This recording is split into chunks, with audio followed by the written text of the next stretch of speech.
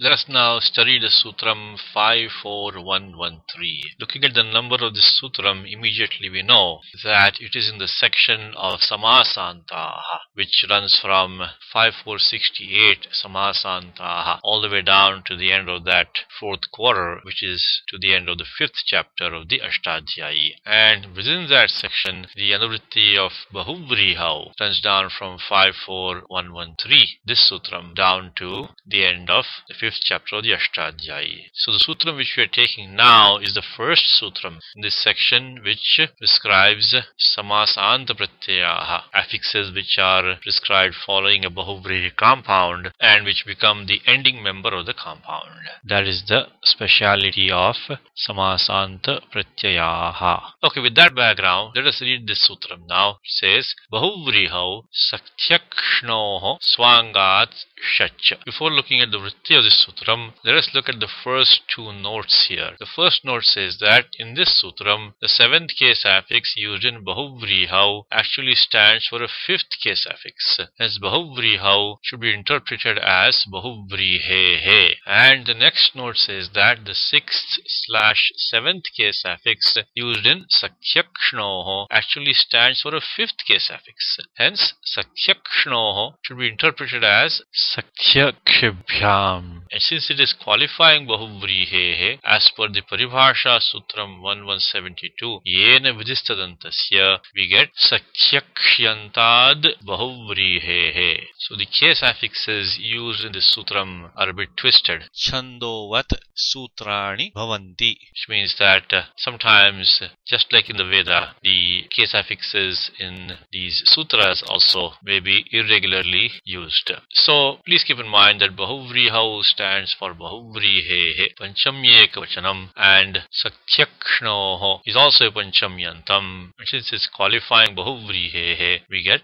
Sakhyakshyantad Bahuvrihehe with the help of the Paribhasha Sutram Yena Vidhistadantasya. So that's how we get the meaning of following a Bahuvrihi compound ending in either Sakti or Akshi. Okay, let's now look at the Vritti of this sutra. It says Swangavachi Sakyakshantat Bahuvrihehe Shach Syat, which means following a Bahuvrihi compound ending in either Sakti when denoting a limb of one's body or Akshi when denoting a limb of one's body. The Tadhitaha affix Shach is prescribed and this affix becomes the ending member of the compound because we are in the adhikara of Samasantaha and we are also in the adhikara of the Tadhitaha which starts all the way back from 4176 and goes to the end of the fifth chapter of the Ashtadhyayi. So all these Samasanta Pratyaha are also Tadhita Pratyaha. Why do we say when denoting a limb of one's body? That's the meaning of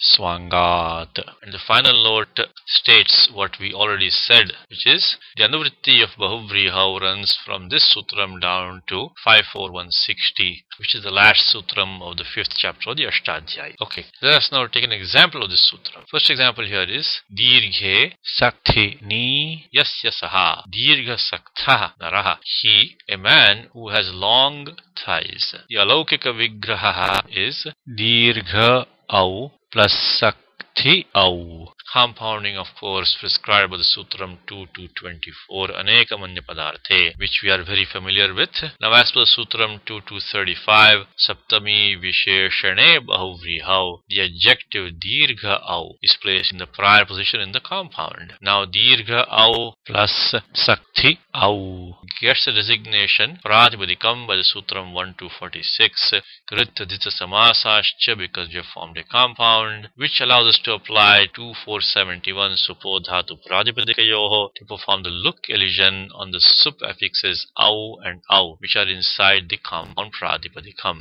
So now we have dirgha sakti. Now we apply the sutram 54113 because we do have a bahuvrihi compound ending in the word Sakti, which denotes a limb of one's body. So therefore all the conditions for applying 54113 are satisfied and we apply the samasanta pratyaya shach. In the affix shach, the ending letter cha is a it letter by 133 halantyam. The beginning letter sha is also it letter by 136 shaf pratyayasya and both take lopaha by 139 tasya lopaha. So now we have dirgha sakti a. Now the angam dirgha sakti sanya with the sutram 1418 yachibham because the affix shach which after removing the it letters is simply a begins with a vowel and it is a swadi pratyaya. Remember the swadi pratyaya cover all the affixes from 412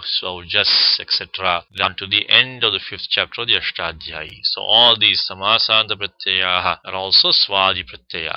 Now of course this affix shach does not have the sarvanama sthana sanya. So the conditions for applying 1418 are satisfied. The angam gets the bhasanya and now we apply 64148 yasyeti to perform the lopa, the elision of the ending letter E of the angam dirgha sakti. So now we have dirgha sakta which is dirgha sakta and the gender of Bahuvri compound matches that of which it qualifies. Present example, Naraha is being qualified, hence we assign the masculine gender to the compound Pratipadikam Dirgha Sakta declines like Rama Shabdaha. Pratama Ekvachanam is Dirgha Saktaha. Now in the feminine, what happens is that we get the following. Dirghe Sakti Ni Yasyaha Sa equals Dirgha Sakti Nari. She, a woman who has long thighs. In order to derive the feminine Pratipadikam, we have to add the appropriate Stri Pratyaha, the feminine affix. In this case, the affix is Nish, prescribed by the Sutram 4141, which we have studied. Sutram 4141 reads Shid Gauradhibhyascha, meaning that in the feminine gender, the affix Nish is prescribed following a Pratipadikam which either contains the letter Sha as it or belongs to the class of words beginning with Gaura. Now since the affix Shach has the letter Sha as the it. We apply this sutram here to derive the feminine Pratipadikam. So now we know why Panini has used the letter Sha as the it in the affix Shach. Okay, so now we have Dirgha Saktha plus Nish. Now the ending letter Sha of the affix Nish gets the Itsanya by 133 Halantyam. The beginning letter Ng of the affix Nish gets the Itsanya by 138 Lashakvata Remember that Nish is not a Tadhita Pratyaya. Tadhitaha only starts from 4176. This one is 4141. So we can use 138 Lashakva. And uh, both these letters take Lopaha by 139. Tasya Lopaha. So we remove them and we get Dirgha Saktha plus E. Now again the Angam Dirgha Saktha Tha the by the sutram 1418 yachibham because the affix nish after removing the it letters begins with a vowel. It is a swadi pratyaha. It does not have the sarvanamasthana sanya. So the conditions for applying 1418 are satisfied. Yangam gets the and then we apply sutram 64148 yasyeti cha to perform the lopaha, the elision of the ending letter a of the angam dirgha saktha so we get Dirgha Sakta E, which is Dirgha Sakti. And since in this case it is qualifying Nari, we assign the feminine gender to the compound, decline like Nadi Shabdaha. Next example here is विशाले अक्षिणी यस्याहासा देवी she meaning the goddess who has big eyes large eyes derivation is similar अलौकिक विग्रह is विशाल औ plus अक्षी औ compounding prescribe the सूत्रम 2 टू 24 अनेक मन्य पदार्थे use money used many times now already and now as per 2 two 35 Saptami विशेषणे बहुव्रीह the विशाल औ is placed in the prior position in the compound. Now Vishala Au plus Akshi Au gets resignation Pratipadikam by 1 to 46. Kritadisa Samasascha, which in turn allows us to apply 2471 To perform the luk elision on the suffixes Au and Au, which are inside the compound Pratipadikam. So now we have Vishala plus Akshi. Apply Akastamani Dirgha 61101 to get Vishalakshi. Now we apply this affix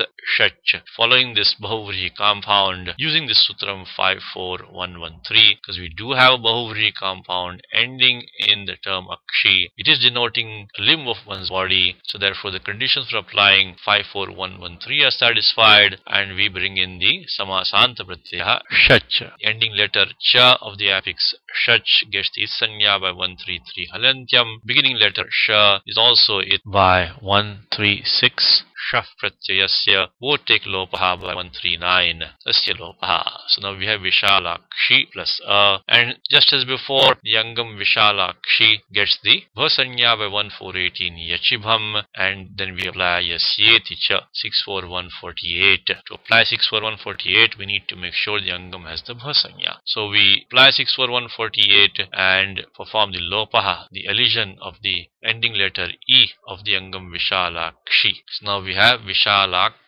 uh, which is Vishalaksha. In this case, the Bahuvri compound is qualifying Devi, so we assign the feminine gender to this compound Pradipadikam. And now we add the affix Nish, the Stri Pratyayaha Nish to get the feminine Pradipadikam. The affix Nish is prescribed by the Sutram 4141. Shid Gaura. Remove these letters, the ending letter Sha gets the Sanya by 133 Halantyam and the beginning letter Ng gets its Sanya by 138. The Shak Pratadhyate both take Lopaha by 139. Tasya Lopaha, have Vishalaksha E. Here again the Angam Vishalaksha gets the Bha Sanya by 1418 Yachibham which allows us to apply 64148 Yasyeticha to perform the Lopaha, the elision of the ending letter A of the Angam Vishalaksha. So we get Vishalaksha plus E equals Vishalakshi. Decline like Nadi Shabdaha. The note here asks the question Swangat Kim. Why does this sutra mention the condition Swangat? Consider the example Dirgham Sakti Yasya Tat Sakti Shakatam. That a carriage which has a long shaft. Here Sakti does not denote a limb of one's body and hence the Samasanta Pratyaha Shach described by this sutram 54113 does not apply. Similarly in the example Stulanyakshini meaning Parva Grantayaha Yasyaha Sa equals Stulaksha Venuyashti that a bamboo stick which has large joints. Here also since Akshi does not denote a limb of one's body, the Samasanta Pratyaha Shach is not applied. Now we'll take up the Sutram 5476 Akshno Darshanat which we need to derive this Bhavri compound Stulaksha.